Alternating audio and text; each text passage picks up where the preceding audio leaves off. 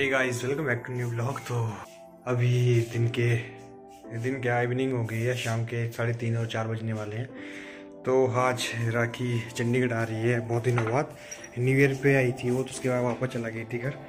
तो अभी वो डैडी दोनों आ रहे हैं। अगर आप देखेंगे अभी बाहर का व्यू तो बाहर धूप लग रही है थोड़ी थोड़ी जो धूप है वो अभी उड़ गई है हमारी बालकनी से। तो अभी दूसरे जो अप, अपर वाले हैं उनके रूम के बाहर अभी भी धूप लग रही है। अब आसमान जो पूरा साफ़ है अब धीरे धीरे गर्मी आने वाली है चंडीगढ़ में बस अब कुछ ही दिन बचे हैं। हेलो गाइस फाइनली मैं चंडीगढ़ पहुँच गई हूँ और अभी मुझे ज़ोर से भूख लगी है तो वो अभी ये खाना बना रहा है। क्या बना रहा है? ये चाय है और चपातियाँ और मिक्स वेज अच्छा अच्छा। तो जल्दी से लगा दे टेबल। भूख लगी है बहुत जोरों से। ठीक है? अच्छा, तो खाना? नहीं कुछ भी नहीं। सुबह का एक पराठा खाया है। बस? बस वो पतलाया सा। अच्छा तो ये बात है। हाँ। कितनी चपाती बनी मेरे को? ज़्यादा नहीं दो बना दियो ओनली दो? यस चपाती का एक्सपीरियंस तो ऐसा लग रहा है जैसे होटलों में काम करके होटल मैनेजमेंट किया गया है। देख सकते हैं आप। हाँ।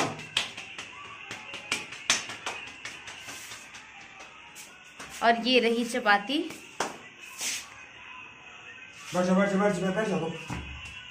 Okay okay. और यहाँ पे पापा जो न्यूज़ देख रहे हैं जो 24 घंटे न्यूज़ में लगे होते हैं हाँ पता नहीं न्यूज़ में क्या होता है।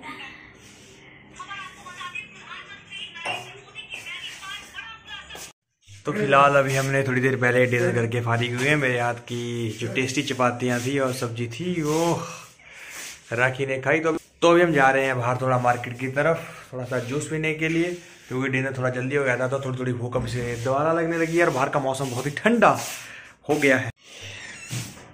ये हमारा मनी प्लांट थोड़ा बड़ा हो गया है, माँ तुलसी भी।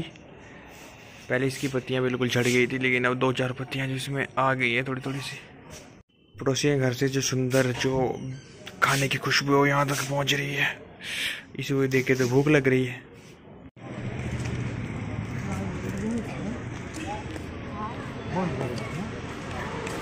इधर जल्दी। शेख की दुकान तो अभी बंद हो गई है वापस चले हैं रूम की तरफ़। चालीस रुपये किलो की चालीस का आधा किलो? किलो। पपीता। और चालीस का आधा किलो ताकि भी पैसे कम लगे। अस्सी रुपये किलो तो लोना ही नहीं। अब एक दूसरी शॉप में आए हम बनाना शेक पीने के लिए क्योंकि ये हमारी रेगुलर शॉप नहीं है दूसरी शॉप में जाते थे हमेशा वो शॉप पर बंद हो गई है।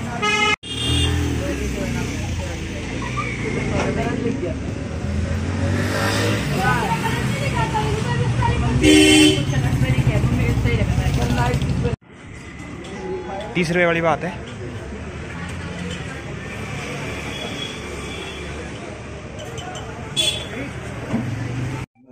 सिर में मेरे बहुत ज़्यादा डेंड्रफ हो गया है तो अभी हेड की मसाज चल रही है। क्या जाएगा? ये ये जाएगा अगर तू ड्रायर यूज़ नहीं करेगा तो। ड्रायर तो मैं सिर्फ़ करता यूज़ यार। ड्रायर तो कब करता मैं ड्रायर बहुत कम ड्रायर करता हूँ यूज़ अब नहीं मैं करता ड्रायर पहले करता था अब नहीं मैं ड्रायर कर रहा हूँ। बाल भी झड़ रहे हैं यार। इतने जैसे बाल भी लगे झड़ने ना।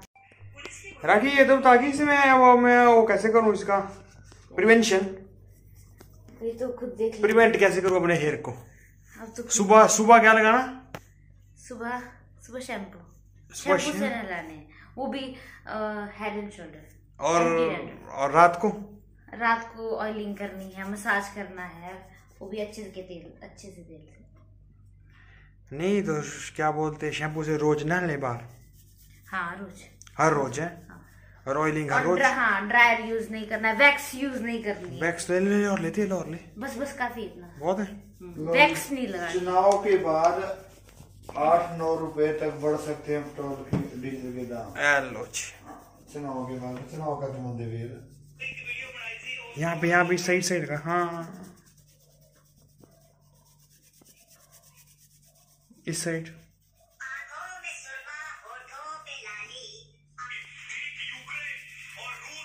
आगे आया। हाँ उफूई। बहुत बुरे हाल है। क्या इधर तेरे में नहीं है। मेरे तो है ही नहीं। है ही नहीं? तेरे था कभी? तेरे पड़ा था कभी? हाँ फिर मैंने एंटी डैंड्रफ शैम्पू यूज़ किया हेड फिर एंड शोल्डर वाला। कि, कितने टाइम फिर अब मेरा वहम होगा वो कि सच में होगा पर मेरा गया तो है। कितने टाइम में गया? दो तीन टाइम लगाया थोड़ा कम हुआ। और जे जितना मेरा था डेंडर इतना था तेरा? नहीं इतना तो नहीं था। इससे कम था? हाँ। जितने मेरे बाल झड़ रहे थे तेरे बाल झड़ते थे? हाँ बाल का तो झड़ने का एक होता है ना। क्या शैम्पू? नहीं हर साल झड़ते हैं बाल तो।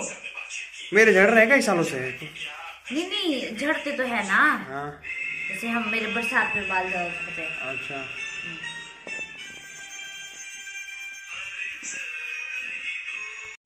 तो अभी समय हो गया है रात के आठ बजने वाले हैं तो आजकल पंजाब में सियासी दौर चला हुआ है। आज ये अंतिम दिन आज इलेक्शन का जो प्रचार करने का आज अंतिम दिन है।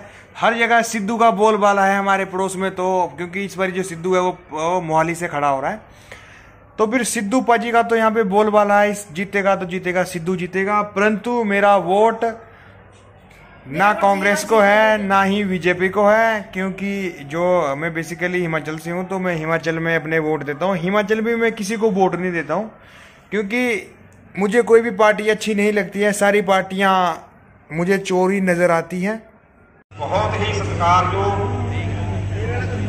सबका कैबिनेट मंत्री सरदार बलबीर सिंह जी सिद्धू साढ़े वार्ड नंबर अड़ताली से उणंजा तो दोनों एम सी साहबान ਸਾਡੇ 6 ਫੇਜ਼ ਦੇ ਸਾਰੇ ਐਸੋਸੀਏਸ਼ਨ ਦੇ ਮੈਂਬਰ ਸਾਹਿਬਾਨ,